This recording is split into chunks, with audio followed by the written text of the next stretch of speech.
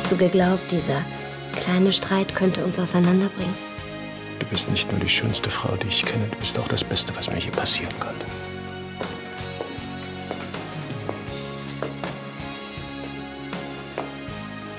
Nur wenn ich einen Kuss krieg.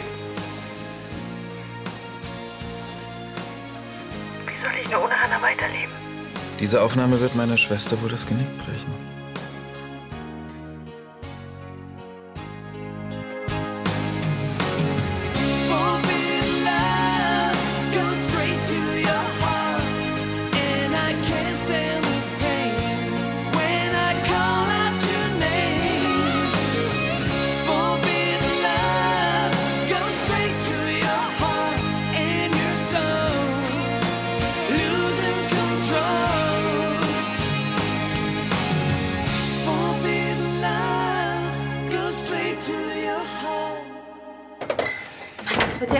Krasser mit dir. Kokos, tut mir leid. Weißt du, du bist aus Lars Zimmer gekommen. Halb nackt. Und hast du gedacht, ich hab was mit Lars? Ja, schon. Sag mal, warum interessiert dich das eigentlich? Bist du etwa eifersüchtig? Eifersüchtig? Quatsch. Wie kommst du darauf? Nein, ich. Du holst dir halt deinen Spaß, wo du ihn kriegen kannst. Aber es, Ich habe damit überhaupt kein Problem, Coco. Ich bin doch genauso drauf. ist das denn ernst? Ja, ich weiß doch, wie du drauf bist. Ja dann, haben wir noch Sekt da? Im Kühlschrank. Willst du feiern? Ja. Mit Felix ein bisschen Spaß haben. Du verstehst?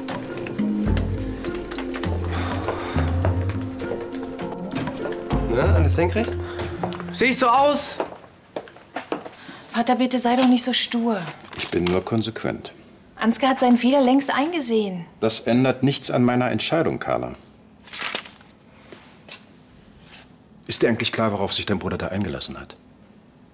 Geldwäsche ist ein Straftatbestand. Welche Konsequenzen das für den Ruf unserer Holding hat, brauche ich dir nicht weiter zu erläutern. Das weiß ich doch. Aber Ansgar ist da halt irgendwie reingerutscht. Ansgar hatte als Chef der Lahnsteinbank die Chance, sich als mein Nachfolger zu profilieren. Aber er hat versagt. Als Manager und als Mensch.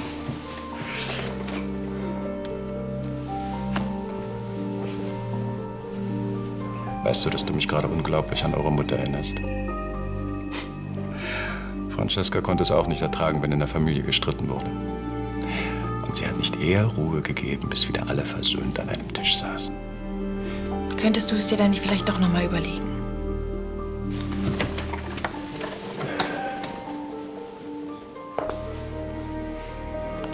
Carla, du weißt, was mir am wichtigsten ist. Aufrichtigkeit, Ehrlichkeit, Vertrauen. Ansgar hat mein Vertrauen missbraucht und das ist unverzeihlich.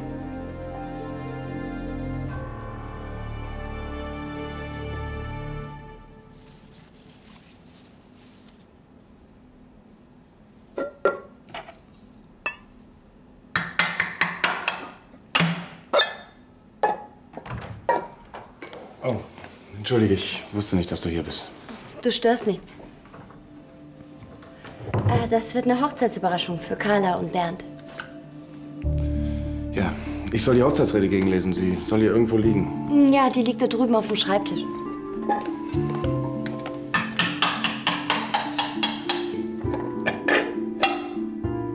Leonard, Ja, wir haben zwei Möglichkeiten. Ich könnte jetzt auf hilfloses Weibchen machen und mir mit dem Hammer auf den Daumen hauen. das wäre wohl eher unpassend. Wer mit Blumen arbeitet, sollte einen grünen Daumen haben und keinen blauen. Hm, sehr witzig. Dann hilf mir doch einfach so. Ich hoffe, das Fest wird morgen ein voller Erfolg für dich. Das wird es. Verlass dich drauf.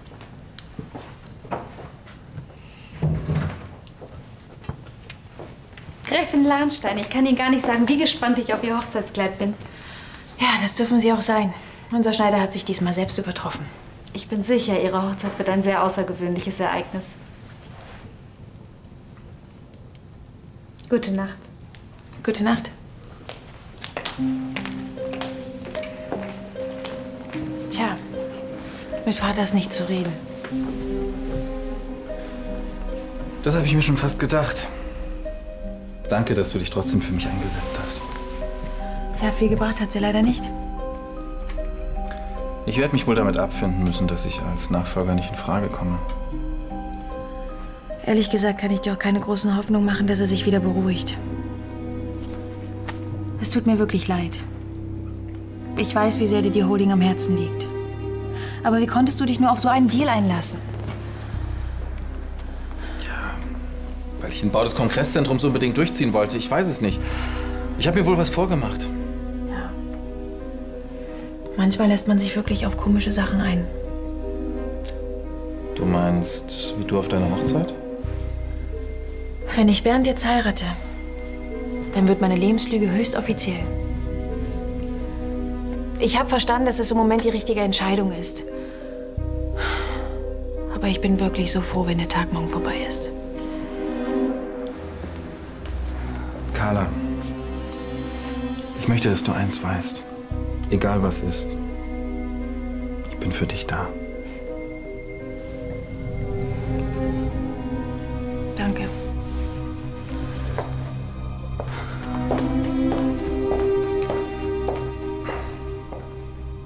Willst du noch was trinken? Als du vorhin reingekommen bist, da warst du irgendwie lustiger drauf. Mir läuft zurzeit eben ziemlich viel durcheinander. Also wenn es jetzt nur wegen, wegen der Show ist, dass du mit der Flasche zu mir gekommen bist. Wir können auch gerne nur quatschen oder so. Ich meine, wenn man so oft gelingt wurde wie du, dann will man sich halt rächen. Schon klar. Du meinst, Ja, wir können ja auch einfach nur rumsitzen und gar nichts tun. Ich meine, die anderen glauben eh, dass wir, dass wir eine Affäre haben, von daher. Felix, findest du auch, dass ich mit den Typen nur spiele? Mit welcher Antwort habe ich eine Chance? Die Frage war ernst gemeint.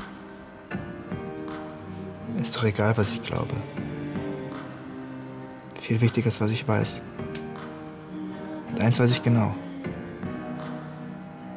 Dass ich dich sehr gern habe.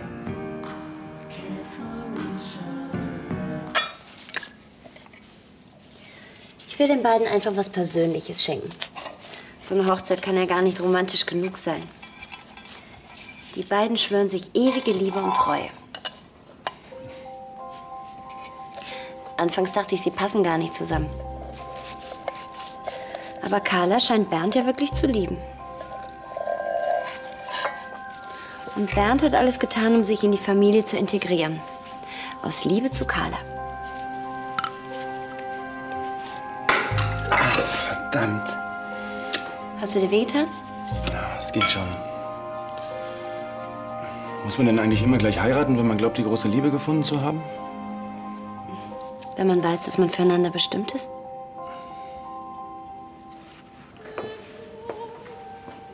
Auch einen? Danke. Ich kann ja nicht jeden Abend trinken. Hätte ich gesagt, ich fürchte, meine Schwester macht heute Nacht kein Auge zu. Beinbach lebenslänglich, das ist die Höchststrafe. Da könnte ich auch nicht schlafen. Das meine ich gar nicht. Sie macht sich Vorwürfe, weil mein Vater mir nicht verzeiht. Deine Eltern haben bei Carlas Erziehung wirklich alles falsch gemacht. Carla bekommt das Lahnstein-Imperium auf einem Silbertablett serviert. Und was macht sie? Sie lehnt ab zu deinen Gunsten. Entschuldige mal bitte, wie kann man so selbstlos sein? Das ist gestört. Ehrlich gesagt, ich finde es rührend. Immerhin sichert mir mein naives Schwesterchen auf die Art mein Comeback. Sie ahnt gar nicht, was für eine Überraschung du vorbereitet hast, oder? An ihre Hochzeit wird sich meine Schwester noch lange erinnern. Schön, wenn auch mal andere unvergessliche Tage haben. Also ich habe ja auch nichts gegen die Ehe, aber zu glauben, dass ein paar Ringe und ein Eheversprechen die große Liebe sichern, ist für mich Selbstbetrug. Es zwingt dich ja niemand zu heiraten, wenn du nicht willst. Ja, ich weiß. Wie viel von den Dingern hier soll ich eigentlich noch aufziehen? Ähm, das reicht, danke. Im Übrigen gehen wir nicht viel ehrlicher miteinander um. Das ist ja wohl was ganz anderes. Wieso? Du erzählst auch die ganze Zeit davon, dass man zu seinen Gefühlen stehen soll. Was willst du mir jetzt unterstellen? Dass ich Johannes nicht liebe?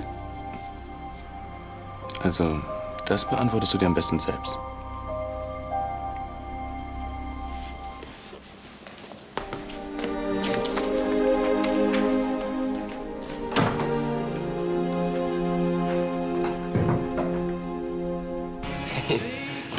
Hat so einen Hals. Dass sie auch ausgerechnet neben Vanessa hinter der Braut herdackeln. Sie will es überleben. Prost. Prost. Sag mal, Andi, ist noch Rhabarbersaft da? Keine Ahnung. Hm, lecker. Zwei Tiramisu. Perfekt. Hey, du spielst mit deinem Leben, die sind von Lars. Der wollte mir doch nie den Wunsch abschlagen. Sag mal, Andi, was isst du eigentlich am liebsten danach? Naja, viel Spaß noch euch beiden.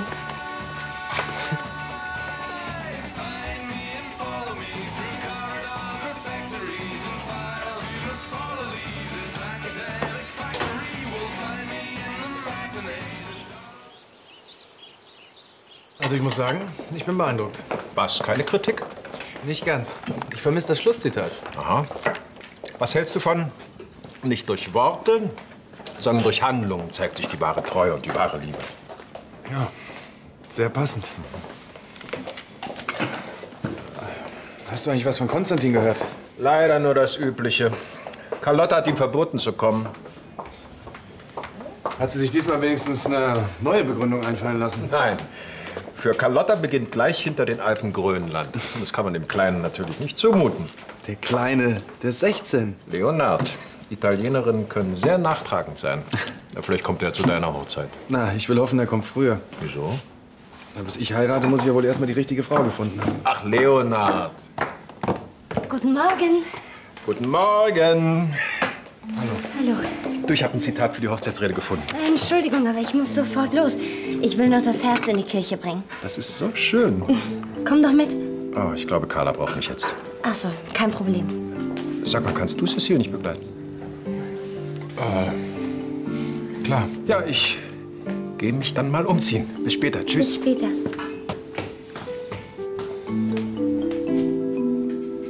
Carla, bist du fertig? Ja, gleich.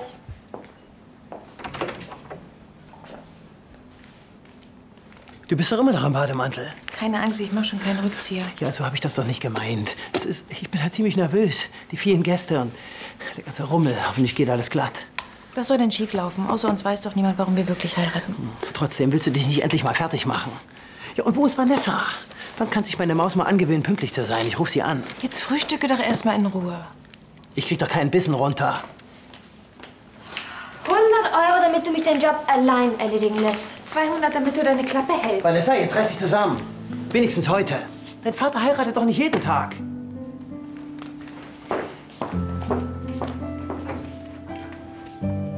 Mit dir kann man sich wenigstens gut streiten. Ja, aber sag's keinem weiter.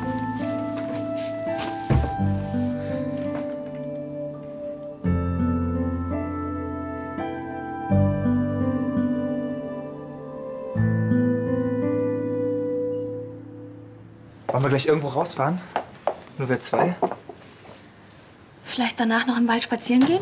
Ja, warum nicht? Weil ich noch keine 80 bin. Morgen. Morgen. Ich habe noch eine viel bessere Idee. Ich muss gleich noch im Kurhaus ein paar Platten abholen. Und danach machen wir da weiter, wo wir vorhin aufgehört haben. Hört sich gut an.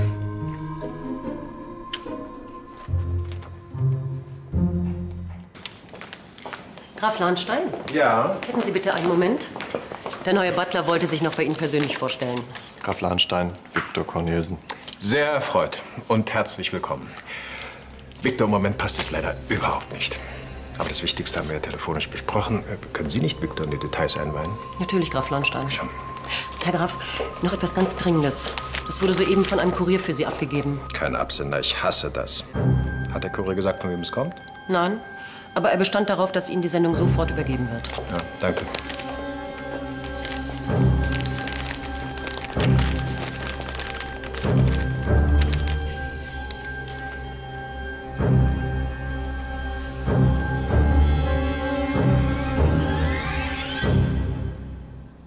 Das kann doch nicht so schwer sein, ein Kleid anzuziehen.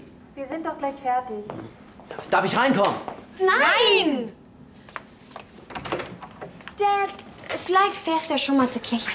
Ja, genau. Und nehmen Sie Ihre Tochter mit. Die ist hier überflüssig. Nico. Wisst ihr was? Ich fahr tatsächlich. Das ist ja nicht auszuhalten mit euch beiden. Ja, das sieht irgendwie cool aus. Ja, sehr cool. Aber irgendwie fehlt noch was. Was soll denn noch fehlen? Das Strumpfband. Soll sie denn mit einem Strumpfband? Also du hast ja gar keine Ahnung von Adelshochzeiten. Aber du.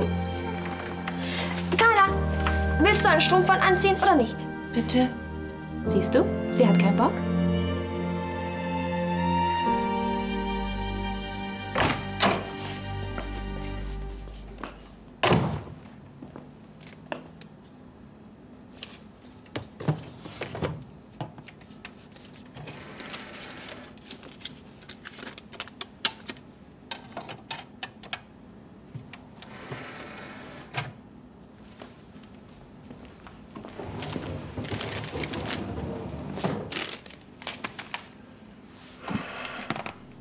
Ich vermisse sie so unendlich.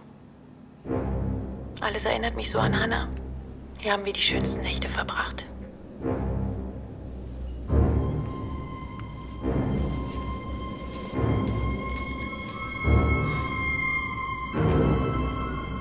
Wie soll ich nur ohne Hannah weiterleben? Sie war die große Liebe meines Lebens.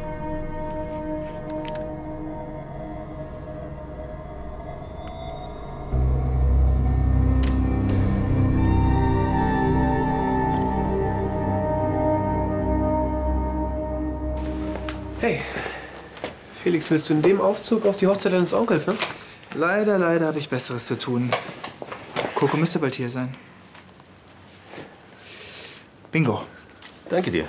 So, Jungs, jetzt könnt ihr eure Nettigkeiten ohne mich austauschen. Viel Spaß. Mach's gut. Ach, ich muss dann ja auch noch mal los. Och, das macht mich aber traurig, Felix. In die Drogerie. Kondome kaufen. Oder kann ich deine haben, bevor die bei dir Schimmel ansetzen? Halt die Klappe, Felix. Eigentlich ist es mir egal, warum sich Coco für mich entschieden hat. Halt's Maul, Felix. Aber weil es wegen dir ist. Vielen Dank.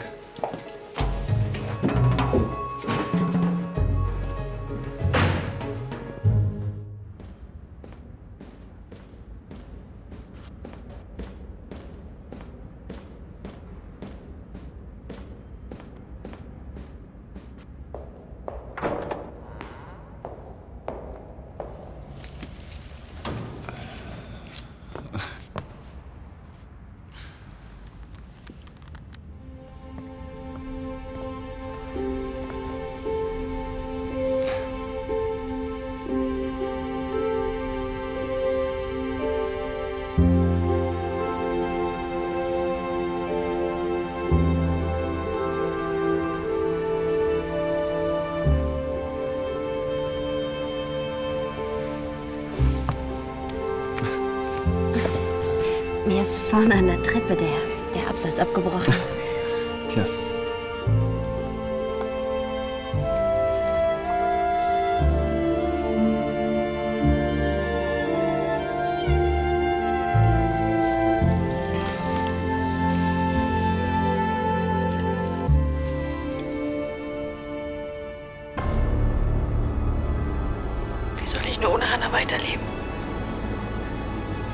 Sie war die große Liebe meines Lebens.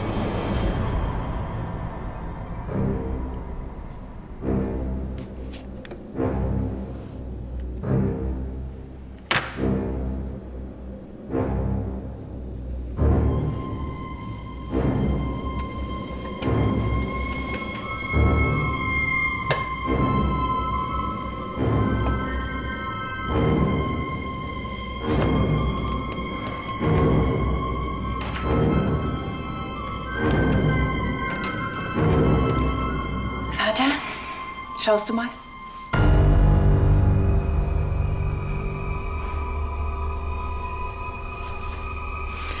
Gefällt's dir? Was ist denn? Sitzt der Schleier nicht richtig? Ich habe extra noch mal auf dem Hochzeitsfoto nachgeschaut, wie Mutter ihn getragen hat. Ist alles in Ordnung? Nein, ganz und gar nicht.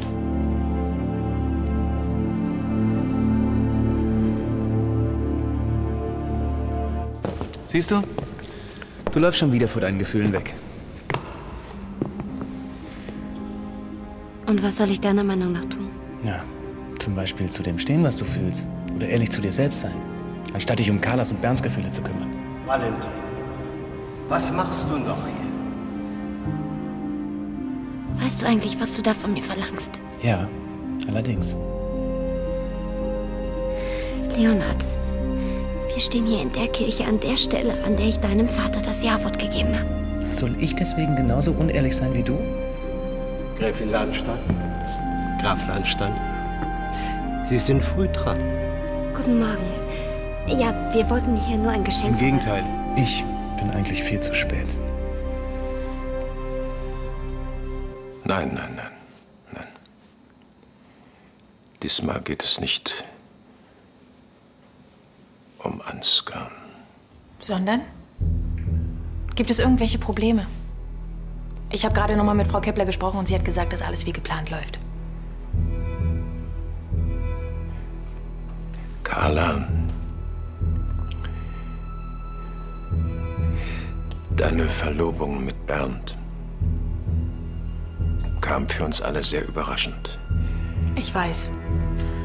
Es ging alles ein bisschen schnell. Aber ich bereue diesen Schritt nicht. Du weißt, welches Versprechen ihr euch gleich vor dem Altar geben werdet. Ja. Auf was willst du hinaus? Ich. Nun, ich. Ich will nur sicher sein, dass du die Ehe mit Bernd wirklich willst. Natürlich. Ich liebe ihn. Und ich freue mich darauf, dass er in wenigen Stunden mein Mann sein wird.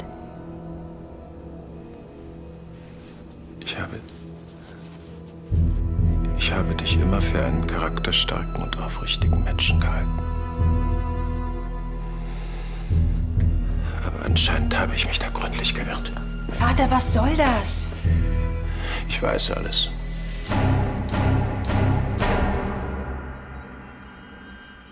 Und so geht es weiter. Was ist denn, wenn dein Vater das Überraschungsvideo noch gar nicht gesehen hat? Er hat. Verlass dich drauf. Na, dann kann die Hochzeit ja noch richtig lustig werden.